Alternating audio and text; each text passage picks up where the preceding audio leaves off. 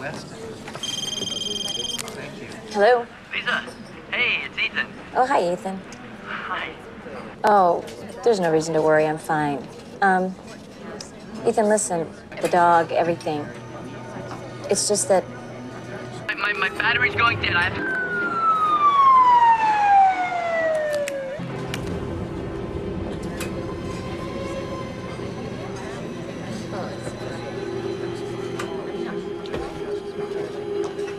Hey, Lisa. I'm sorry I'm late. Oh, no problem. I uh, already got us a table. Great.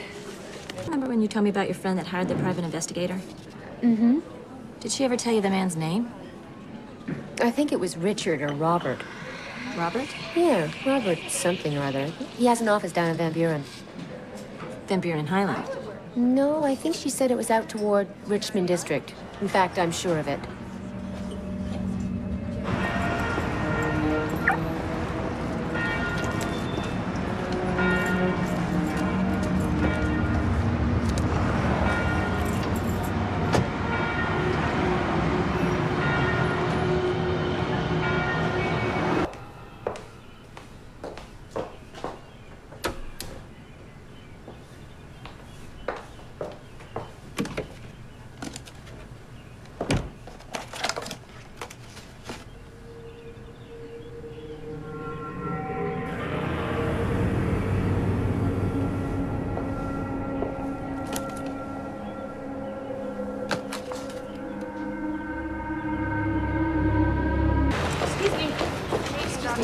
I'm Lisa Mitchell. My husband, Trey Mitchell, was just admitted.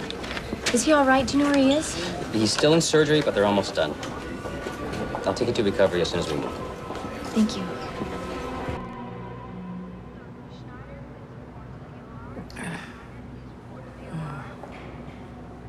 Hey. You're awake. How do you feel?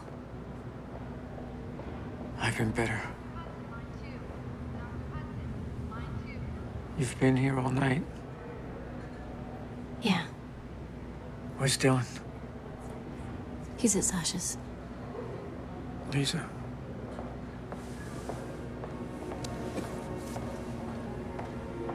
Don't ever leave me. I won't.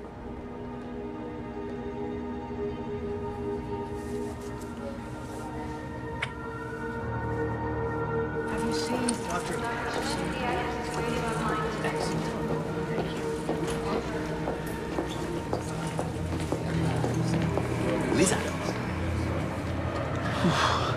Ethan, what are you doing here? You're kidding me? I just read about Trey in the paper. I can't believe it.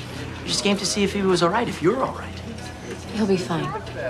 Yeah, uh, uh, they said that they found the guy who did it this morning. He was some drug addict or something. Yeah, they did. Um, Ethan, I don't know how else to say this, but I'm just gonna ask you that you don't come see me anymore. You, you mean while Trey's around? No, I mean not ever. I, I really need to focus on my husband. Lisa, I mean, we, we've become good friends. You bring a lot to my life. I just don't think that staying in contact with you would be very fair to Trey. I'm sure under different circumstances we would have been good friends. Look, I, I th- Thank you.